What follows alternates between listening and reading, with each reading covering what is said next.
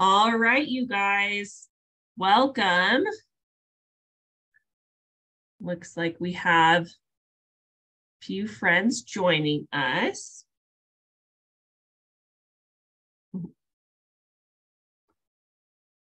So we're gonna let some friends keep joining in. But while we do, um, thank you guys for joining us. Just a reminder that you guys um, are muted and cannot see each other. Um, but we would love to hear from you in the chat. Say hello in the chat as you're joining in. We'll begin our program soon. Just giving a little time for folks to, to pop in. Um, if you want to say hello in the chat and let us know where you're streaming from, we would love to hear um, some of the friends that we have joining us today, whether you're from California, other parts of the United States, or from Baja California, we would love to hear from you. Looks like we have some friends from La Mesa.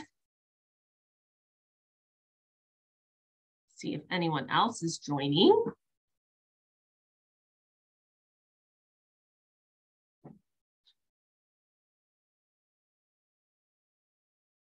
All right, as we have people joining, I'll just introduce um, myself and who we have with us, and we're going to start out with a little poll um, as people are joining us. So my name is Haley Priest. Um, I work here at the NAT, and I'm joined by my friends and colleagues, um, Cypress Hanson and um, Ari Hammond. They both work for the NAT, so Cypress is our science communications manager, and Ari is our library director. Uh, and so they'll introduce themselves more in a little bit. Um, but now is a, a, great time, like I said earlier, to say hello in the chat. Um, and then we also have a poll for those of you um, that are on Zoom with us to answer um, if you have ever been to Mexico. So let us know, have you ever been to Mexico? If you're joining us on Facebook, um, let us know in the chat in that live stream. Um, and we would love to know if you've been to Mexico, if you live in Mexico, um, and if you do live in Mexico, we'd love to hear if you've ever uh, joined us up here in California, if you've ever been to California. So looks like we have a few folks that have never been to Mexico. Um, we have one friend that has been to Mexico. And again, you can go ahead and let us know where you're joining from in the chat.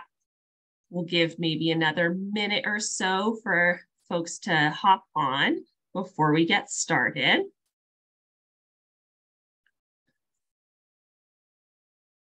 And we're going to be learning a little bit more about some animals, some plants, um, and other uh, fun things that can be found um, both in California and Baja California, the Baja California Peninsula today. So it looks like you maybe have most of the folks that are going to join today. Um, just another reminder, we cannot see you, we cannot hear you, you're on mute, um, and your video is um, off, but you can um, send chats or questions to us here, all of the panelists, um, that hopefully we'll have time, we will have time to answer them at the end of our program. Um, so feel free to ask questions. Um, let us know, engage with us on what is um, going on on the screens, um, but we cannot see uh, see you. Um, and we are broadcasting this to Facebook. Um, so without further ado, um, let's finish. We can finalize this poll, share our results. so it looks like we have uh, one person that has been to Mexico, two folks that haven't. So let's go ahead and get started. Um, so let's welcome Cypress and Ari, um, and I'll let them both give a little introduction of um, who they are and maybe um, one of their favorite places uh, that they've uh, traveled to or visited. Uh, okay, I guess I'll start. Hey, everybody, I'm Cypress. I do science communications at the NAT. Um, and I would say one of my favorite places that I've traveled to is actually here in the United States. Um, and that would be uh, Glacier National Park up in Montana. It's a very beautiful mountainous uh, park that has lots of beautiful wildlife. Cool. That is super cool. Um, hi guys, my name's Ari. I'm the library director here at the museum. Um, and some of my favorite places to travel, um, I went to Europe last summer. I went to the Netherlands and got to ride a bike through their park. Um, but I really love going to Baja California. Um, I go to Cabo with my family whenever I can, or down to Ensenada or Rosarito. So I'm really excited for today's um, presentation. Super fun. Thank you guys for introducing yourself. Um, so we're going to start. Cypress is going to kind of give us an introduction to Baja. So we've talked um, in our past um, Baja Live Youth programs about some of our research projects that have happened in Baja. And so we're kind of wrapping up our series um, with this overview. Um, so Cypress, take it away. All right, thank you. Um, so I'm going to start out here with a map of uh, our part of the world that some of you may have seen before and some of you may have not. Um, of course, we've got the land and the ocean, um, but I like these kinds of maps because they just show us what the environment looks like. And you can see that there's lots of green up here on the right side on the east part of this map. And then down below, there's a lot of green. And then there's lots of green along the coast too. And usually that means that there's lots of forests over here, it's a little bit more brown, which often indicates that there's going to be a lot more deserts. And you can kind of see all of these different kind of patterns and designs. And I would say that those usually indicate that there's lots of mountains. And you can see that down here in Mexico, and you can see that along the coastline. And so when I add in a little bit more information here, you can kind of get an idea of where these different environments are in both the United States and in Mexico. Um, and so we've got the US here, of course, Mexico down here. San Diego is this tiny little white dot down here, right by the yellow line, which is that border between the two nations. Um, and today, we're going to focus a little bit on California, which is here, but we're also going to focus on the Baja California Peninsula, which is this long, funny strip of land right here. Um, and so if you look at these two places on this map here, you can kind of see that they're both about the same length. Um, Baja California, the Baja California Peninsula is just a little bit skinnier. Um, and you can kind of see that both of these places, both California state and the two states within Baja California Peninsula, both have a lot of browns and they both have a lot of greens and they've both got a lot of those patterns that indicate mountains. So these places both have lots and lots of different habitats. Um, for example, in California, We've got mountains and forests and beaches and deserts, and we've got scrublands. This one here of the Hollywood sign, this is in LA, and this is actually pretty similar to what we have in San Diego, um, these like chaparral scrublands. Um, so California is super, super diverse in all of its habitats. And Baja California, that whole peninsula is no different. So they've got tall, snowy mountains and dry, super dry deserts, um, tropical beaches, dunes that go on forever, it seems. They've also got really kind of tropical scrublands as well. And as you can see in this photo down on the lower left, um, this is a picture of the border, which part of this picture is in San Diego County and part of it is in northern Baja California. And you can see that the nature on both sides is actually real, pretty much the same. And that's why we always say something, uh, we always have this line that we like to say at the museum, which is that nature doesn't stop at the border. Um, and so we think it's really important to study both sides. Um, so to give you an idea of where these different habitats in the Baja California Peninsula exist, um, I kind of laid out a map of the whole peninsula here. And um, you can see that border image was taken right up here where you can kind of see a little bit of a line. Um, and then just below are these really, really tall mountains. Um, and then in the middle of the peninsula, it's a lot drier. So there's lots of deserts.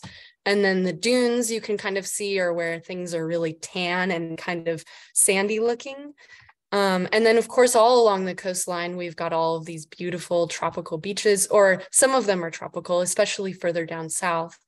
And then we've also got um, these this little patch of green down here at the very bottom of the peninsula, and there's lots of mountains down there, and some of them are uh, covered in what we call tropical thorn scrub. And um, we'd be really interested to hear if you'd like to throw it in the chat which if of any of these spots you would love to visit if you could or if you've ever been to any of these places before so, in my opinion, because I really love wildlife, um, one of the coolest things about having all different kinds of habitats in the this part of the world is that you get all different kinds of plants and animals. So, we're going to spend a little time now uh, learning about some of the locals from the Baja California Peninsula and California. All right, you guys. So, we are going to do a quick pop quiz.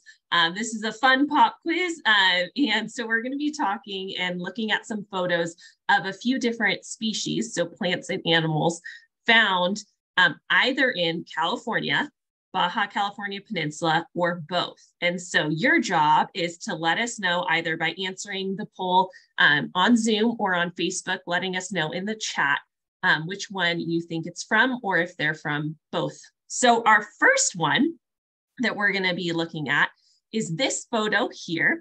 Um, and if you joined us back in September, you might already know the answer to this because this species um, was the highlight for our September program last year. So this is the California red-legged frog. So go ahead, um, answer us um, in the poll or in the chats, um, whether you think this is found in California, Baja California, or both. So we'll give you guys about a minute to get your answers in.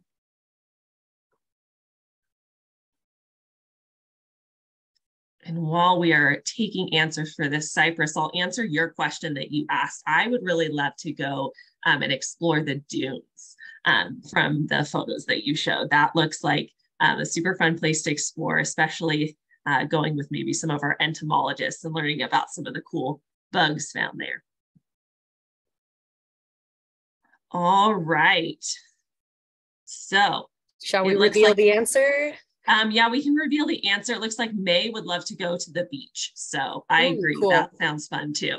yeah, the tropical beaches sounds nice. Ooh, all right. Everybody says both. Let's see if that's correct.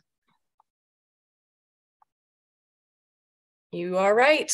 Yay, great these job, frogs, guys. These frogs live in both the mountains uh, just south of the border as well as in Southern California. And then there's a different subspecies that grows or lives up in uh, Northern California as well. You ready for the next one? Yes, we are. All right. So this next species, you can see it's not an animal. it is a plant. Um, and this plant is the cardon cactus. So do you guys think this species of cactus is found in California, in Baja California, uh, the Baja California Peninsula, or both? What do we think? Again, you can answer in the polls or let us know in the chat what you think. I think it's pretty amazing how large this cactus is. You can see the person standing next to it. It's pretty crazy. All right. Give you about maybe 15 more seconds for maybe our teachers that are polling the class to answer.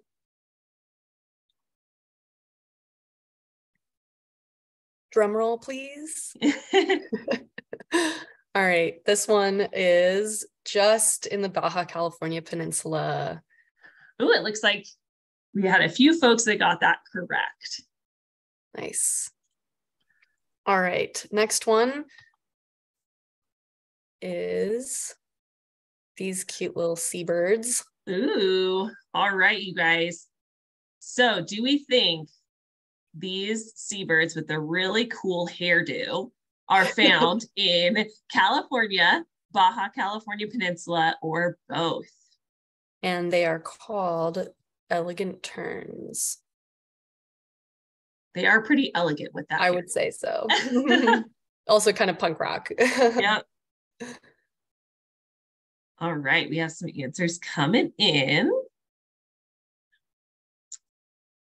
I love the one that's carrying the fish.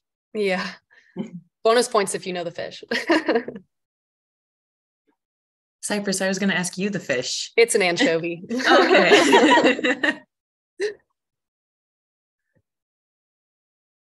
All right, we'll give maybe 10 more seconds.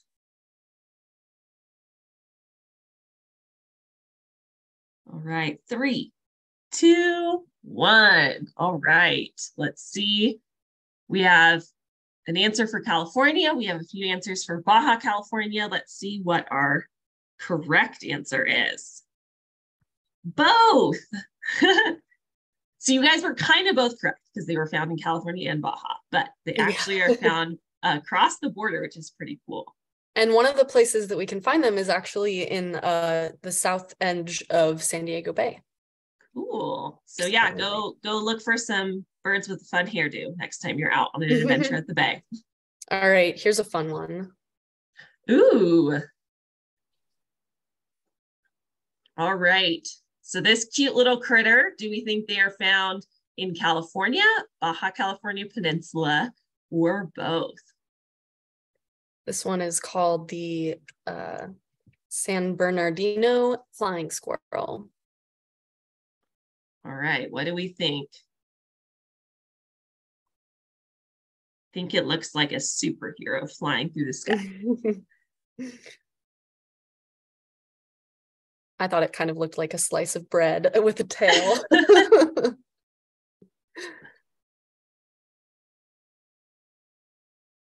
Are they as big as a slice of bread? Are they bigger? Um, I think they're only slightly bigger. They are pretty small little critters. All right, we get, we'll give our friends 10 more seconds to answer either in the chat or through our poll. Yes, they are very cute, May. Very, very adorable. They're also very soft, so I'm told by our researchers. All right, let's end our poll, share our results. We have a few folks that think California, and we have some folks that think both. So let's see what our answer is. Just California. Just California, and they're found in the San Bernardino Mountains, uh, as their name name gives away. Right around LA. Yeah. All right, let's go to our last friend. Ooh, it's a colorful one. All right. What do we think? Do we think this cool critter is found, colorful critter, is found in California, Baja California Peninsula, or both? This one Cypress, is called, what is this one? Yeah, this one is called a thorn bug. And oh. as you may have guessed, it is trying to look like a thorn on a branch, kind of like a thorn on a rose bush very cool, just a colorful one. yeah, yeah, exactly. It's trying to blend in, but it's doing it with some fashion. yeah. It kind of looks like a bird face to me too. Mm-hmm. Like that's the yeah. and the it's got its little face and eye here, and then its wings are tucked underneath. Yeah, it's beautiful. It looks like an artist painted it. Mm-hmm. Did a mural. All right, we'll give our friends 10 more seconds to get their answers in.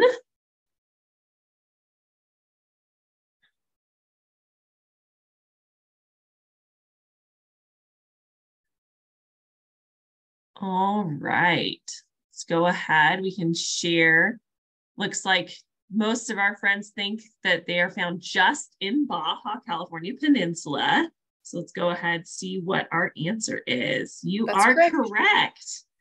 And if I'm not mistaken, this one actually exists pretty far down at the bottom of the peninsula on the southern edge or the southern cape. Um, and then it also exists down in uh, the mainland of Mexico and Central America too. Very cool. Yeah. So next time we visit Baja California Peninsula, we got to keep an eye out for it. yeah, yeah. This and lots of other cool bugs. Yeah. Um, so nice job on our pop quiz, just checking out some of the really, really cool creatures that live in our region. Um, so I'd like to show just a couple more pictures of some of the plants and animals that live down in the Baja California Peninsula. Um, they are so diverse, as you can tell.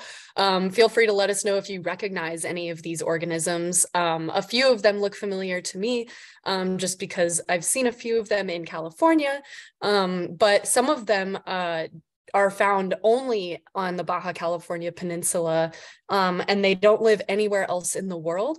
And so um, sometimes scientists use this fancy word to describe animals that exist in one place and nowhere else. And that word is uh, endemic. So if a bird is endemic to the tip of the Baja California Peninsula, that means that you could search the whole world looking for that bird. And the only place that you'd find it in the wild is on the tip of that peninsula. So a plant or animal can also be considered endemic to a single mountain or a single island or a single dune system.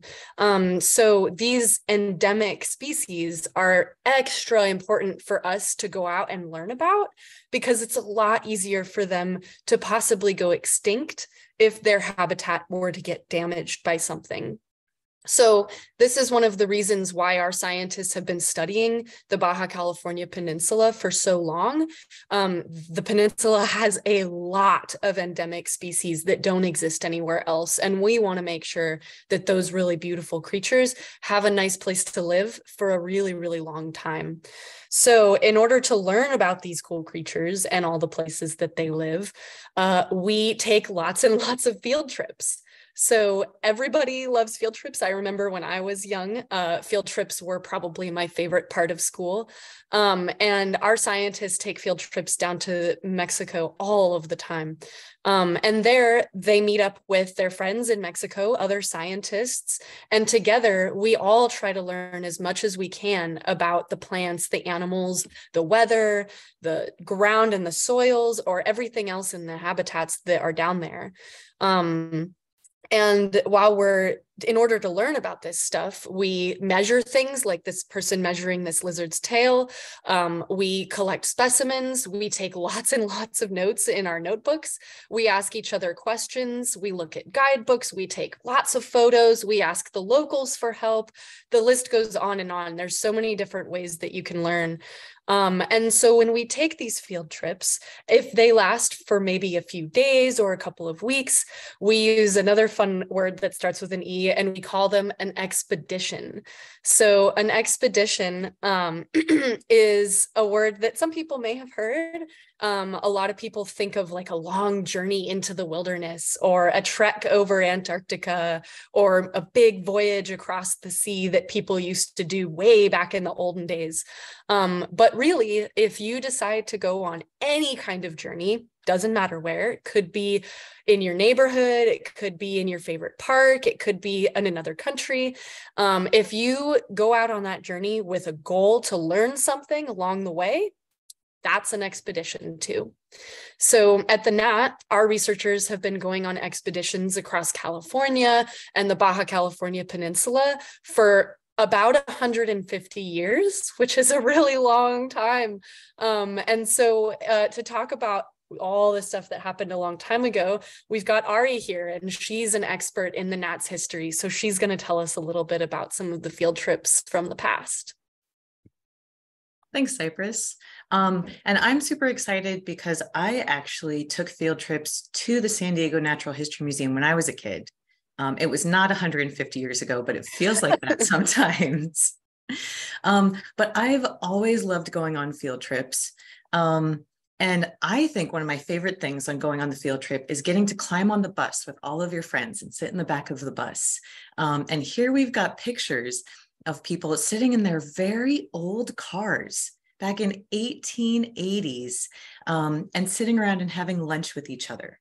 So, one really cool thing about our field trips, our expeditions to Baja California, is that we started doing them not just ourselves, saying, I want to go explore, but with people from Baja California. Um, so, um, on the right here, we have this guy sitting on a big crate looking at the camera. Uh, his name is Laurence Huey. And the guy right next to him, sitting in the chair, that's his friend Jose Maria Gallegos. Now, they were just friends who liked to explore things. Laurence Huey was from San Diego, and Gallegos was from Baja California.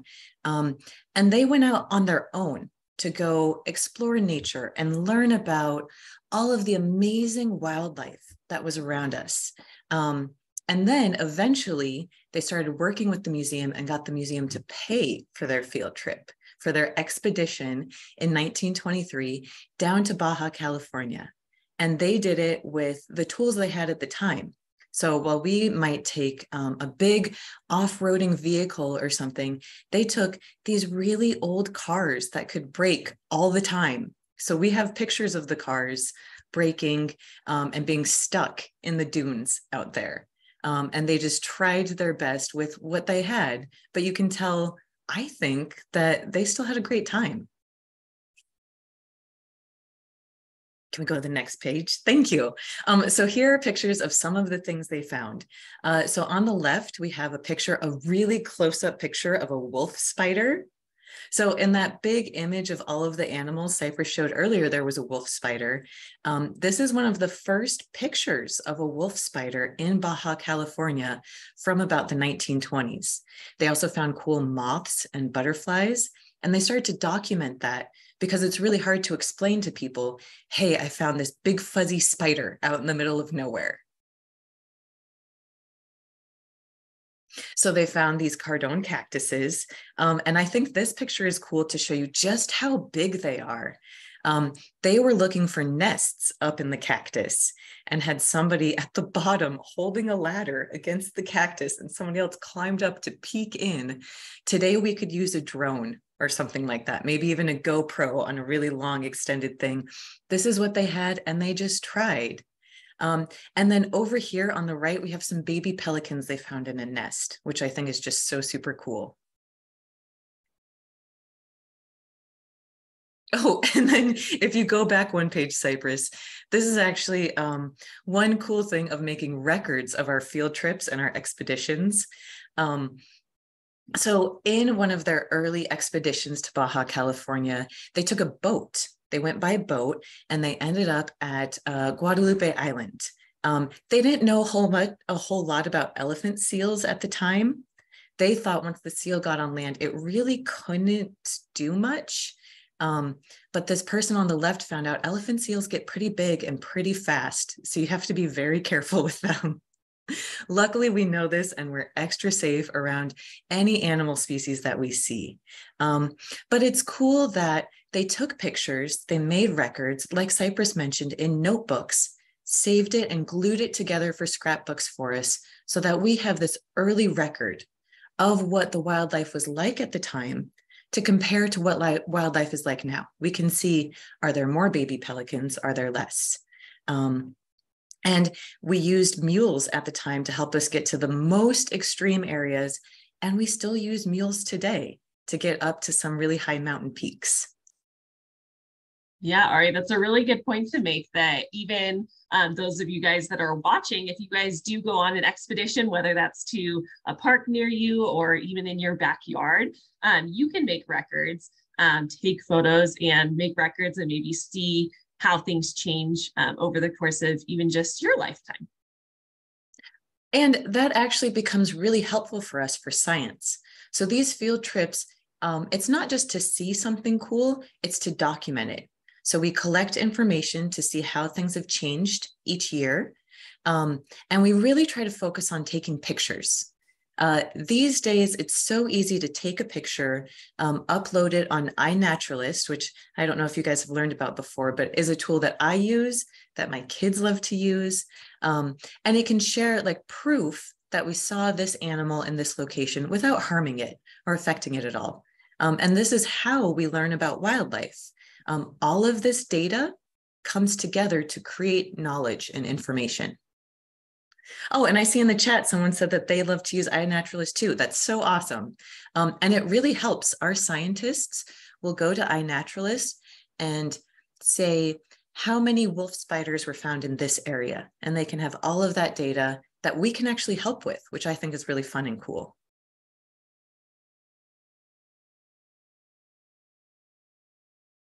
Nice, Ari. Um, so I'm going to talk a little bit, just a tad, about uh, some of the field trips that we uh, are going on right now, or that we've been going on recently. Um, one that we went on last fall, just a couple of months ago, was led by our birds and mammals team, and they went down to San Quintin. Um, so San Quintin is right along the west coast of the peninsula, and it's pretty far north. You can see San Diego in this picture here is right above the border, and San Quintin is just a few hours down the coast. Um, and when they went down there, they had the goal on their expedition to understand a little bit more about the birds that are living in the wetlands around the San Quintin Bay. So they wanted to know which birds were there. They wanted to know how healthy those birds were, and also how the birds were interacting with other plants and other animals and all, all the different things that were happening in the, the, the wetland ecosystem. So this is our curator, Phil. He's our bird expert and he's taking notes. He's watching the birds through his um, telescope. Kind of, it's kind of like binoculars, but one, uh, one eye instead of two. And um, these are some of the birds that he collected and he, he took notes on these birds and he took pictures of them and he was weighing them to see how much, how healthy they were, if they had enough fat stores for the winter. And you can see him here with some of his coworkers as well, um, just taking note. Sometimes they might, they make notes on the birds, like if they hear them calling, um, and then they will take notes on that. Um, and then we also worked with the mammals and the insects as well down there because we wanted to know how the mammals and the insects and also the plants were interacting with the birds. So we took lots of notes on this. We took more photos. This is a beautiful photo of a little uh, mouse, I believe, that lives down in the, the wetland area. Um, and these are this is one of our colleagues down in Mexico. He works for a similar organization to the NAT down in San Quintin.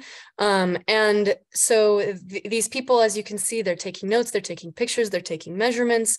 Um, and all of that is helping us learn more about that ecosystem um, because that ecosystem does face lots of threats. And we want to make sure that the species there are um, going to be able to withstand those threats or to see if there's something that we can do about those threats. So one of the things that we can do is uh, we can take lots of pictures even if we aren't in these specific areas. So I'm going to pass the mic now to Lauren, who's going to share with everybody how we can all help to learn about these different organisms.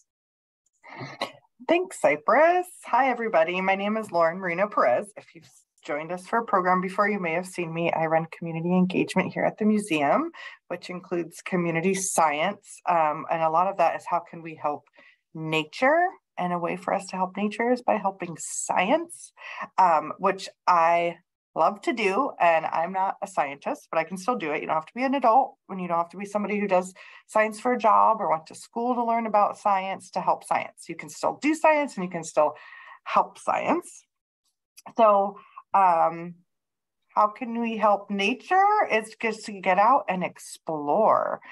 So you don't have to go to a faraway place like these expeditions went to. You can get out and explore your own backyard, kind of like Haley was sharing, sharing she likes to do. I love to do that too. We have a picture here where we're out exploring right next to the freeway. If you're at all from San Diego, we have freeways running through um, all of our areas, but there's all sorts of nature all around here. And we always need the help of people just like you to share about the different wild plants and animals you're seeing and where you're seeing them.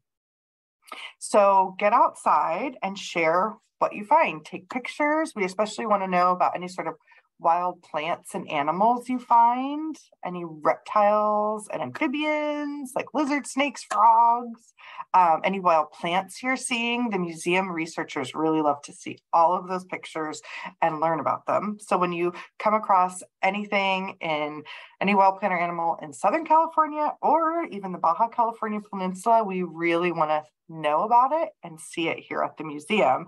And sharing it with us is really easy to sort of share what you find. You want to use an app or a website. Um, it's an app and a website called iNaturalist. So Ari was talking about this earlier. iNaturalist.org is where you'll find, well, you'll find it. Uh, if you're under 18, you'll want to set up your free account with an adult to make sure it's okay to do and you're being safe. And then all you do is you get outside take pictures of what you come across. I take pictures of lizards in my yard all the time, snails, little bugs. Um, iNaturalist will help me identify what it is if I want to know what it is, which I usually do. Um, and then, um, so I take the picture, I put it on iNaturalist, with my phone. Using a phone is great. iNaturalist tells me what it is, and then I can, and then that share it automatically to people all over the world. Then people like scientists at the museum will see it as well, and they want to learn from it, and they'll pull it into their research, just like the scientists going to Mexico are doing. They're documenting things. You're helping them document um, our world all around us which is a huge help. There are all sorts of projects you can take part in with iNaturalist all the time that are always going on. The museum has them. We have them on our website on our community science page, and we'll share that link in the chat as well. There are big projects that are going on all the time, and then some big ones that go off here and there. One coming up is the Border BioBlitz, which we're really excited about. That will happen in April. Um, and at our next live youth program, I'm going to share all about citizen science, community science. That's what we call it when people help scientists and science learn more about our world. That's going to be on March 17th. I'll share more about how to learn all about the projects that are coming up, how you can find a project to join near you, no matter where you are in the world. There are all sorts of projects you can join right by you to take part in, and also how to just get out there um, and find your own observations. You don't even have to add them to a project. We'll just, people just want to see them anywhere, and it's like exploring a whole nother world by seeing your photos. So join us next time if you can. We would love to see you. And right now, I think we also have time for some questions. We'd love to take questions from the audience about anything um, any of us have talked about, Cypress, Ari, or me. Please throw your questions into the chat. Yeah, thank you guys for all that wonderful information, all the great photos, images, um, kind of ways that we can get involved either on our own time, maybe with our class, um, or maybe at work. Um, so um, if you have any questions, please put those in the chat, whether you're joining us on Zoom or you're joining us um, on Facebook. Let us know any questions that you have. Um, and we have a few minutes to be able to go through some of those. and it looks like one that we can start with is this can go to either Ari Cypress or Lauren. Do you guys have um, a favorite part of your job? You guys all can answer. I would say that much like when I was saying earlier that my favorite part about school was going on field trips, um, I would say that my favorite part about my job is when I get to go on field trips still, um, because sometimes I get to join our scientists out in the field when they do these expeditions, even if it's for one day. And um, I get to go out and learn about what they're doing so then I can tell stories about it. So I would say the field trips and being outside and witnessing the wildlife and seeing how the science works works is definitely my favorite part of my job by far. Very cool. So, our young friends that are joining us, you can go on field trips even when you're an adult, which even when you're not a, a scientist, to too. Correct. Um, I think my favorite part of the job is just all of the cool questions people ask that I get to help answer. Um, so, being the librarian, people will come up to me and say, um, you know, what does a male black widow spider look like? And it's like, oh, that's actually a really cool question. Let's start to figure that out. Um, so this question that May put in the chat, how big is Baja California? It's very long. It's about 775 miles long. Um, and I helped find that for our Baja California exhibit. Um, going through all of the different uh, resources to see exactly how long is Baja California. Do you measure it this way or a little bit over, or how does that go? Um, but then it makes you really curious and excited too. Very cool. Lauren, how about you? Yeah, that's a hard one because I have a lot of fun getting to work at the museum. I would say the most fun I have is getting to go outside the the building, which I think is a common theme, mm-hmm. um, and getting to talk with people and learn about how um, what they like about San Diego, what they like about nature, what they care about, and also how they can help us with that. So a lot of my job is getting people to use things like iNaturalist and sharing what they're seeing in the natural world with us. Um, and I find it to be really fun because most people get super excited to learn how important what they're seeing is. I think even before I worked at the museum, I took for granted, like, oh, it doesn't matter, like this lizard I'm seeing in my yard or these bugs over here. Um, like nobody cares. I just care. But that's not true. There are people all over the world that really care. And when I share that with them, and the internet lets us do that now, which is super cool, um, then they learn more about our world and then we can help protect it. So I think I get really excited getting to do that and see other people get excited by that. Yeah, very cool. Okay, we have a question in the chat about spiders. I don't know if anyone knows much about spiders. Maybe Ari, you do since you did a little bit of research for someone. Um, but do spiders have tongues? And if so, how do you measure them? I feel like that'd be a good one for for you to do some research on. they actually they don't have tongues, which is kind of cool. They have um, these mouth parts, um, and I can mm-hmm. never say this right. It's called chelicerae. Yep. You got it um, right. And it, they pull everything into their mouths and then swallow. Um, I will say though that one thing that I think is really cool is that snails have teeth. And snails have really cool teeth that are kind of like um, a nail file. Um, and they have rows and rows of these teeth, like sharks. They, they're constantly producing these teeth. So a snail will take a bite and just grind something back and forth against its rows and rows of teeth and then swallow it. Very cool. All right. Um, we'll give a chance if there are any last questions. May wants to know how small are the teeth. I mean, I would assume they're pretty small because snails aren't that big. They're microscopic, yeah. Yeah. Sometimes you can see them kind of like you can see the little um the little rough spots on a cat's tongue which is much much the same kind of texture to the the like tongue teeth of a um, snail but i mm-hmm. would say yeah they're pretty microscopic but if you have a fish tank at home and you have snails in it mm-hmm. sometimes you can see the snails like put out their teeth and then bring them in as they're eating algae off the glass of the fish tank so sometimes you can see the little dots of teeth but uh, otherwise i'd say they're pretty tough to see oh fun. I just threw in the chat also a community science project called Snail Blitz, where um, the Museum of Natural History in LA, they want to know all about the snails in Southern California. And they have a big project. So especially all year long, but especially in February and March, it's a snail blitz. Because it's wet. Because it's wet. And so that's when we're going to see snails and slugs, their relatives. And if you take pictures and share it on iNaturalist, those scientists there, they really want to see it. So you can learn more about it by following that link. Very cool.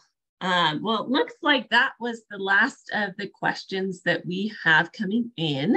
Um, but I wanted to mention that we do have a variety of um, education resources on Baja California and our um, exhibit called Expedition Baja that we just opened last year in May. Um, so if you haven't had a chance to come and see that, we would love um, for you to come visit us at the NAT in San Diego and see that exhibit. It highlights a lot of the research projects that we've um, referenced in this series, as well as some other fun ones. Um, so we'd love for you to come see that. But if you can't come in person, um, we would love for you to just check out our resources. We're going to have some new ones um, popping up there in the next few months, some uh, curriculum for you to use with your class. Um, and we would also love for you guys to join us for our next live youth program in March um, called Science Needs You. Um, and we would, we're going to be talking more about um, the different ways that you can um, join projects on iNaturalist as well as um, just get out into your community and help science. So thank you guys so much for joining us. And thank you to our special guests, um, Cypress and Ari. for a wonderful presentation. And we hope that you all have a great rest of your Friday and we'll see you in March. Thank you guys. Thank you, everybody. Mm.